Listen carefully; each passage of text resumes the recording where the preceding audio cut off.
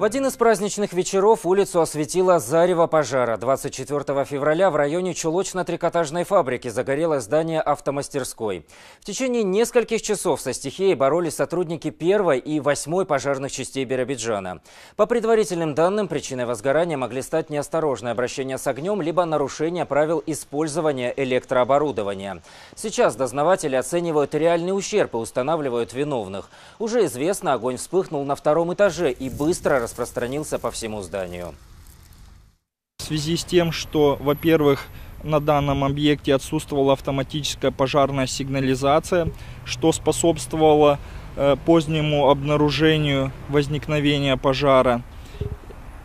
А, а также связано в связи с тем, что на втором этаже данного здания э, находился магазин, где хранились лакокрасочные материалы